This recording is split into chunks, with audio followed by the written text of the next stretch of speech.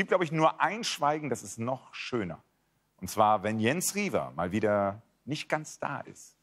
Und Hamburg ist damit hervorragend aufgestellt, wenn es immer heißer wird, über diese Wasserflächen und Verdunstung dafür zu sorgen, dass wir nach wie vor gerne in der Innenstadt sind.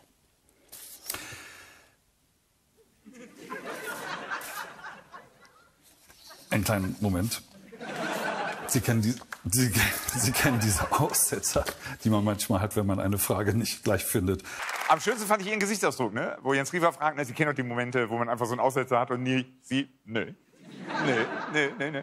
Für einen Moment dachte ich, den haben sie ausgestellt. Irgendeiner hat hinten den Stecker gezogen und dann, schnell, steck wieder rein. Ja.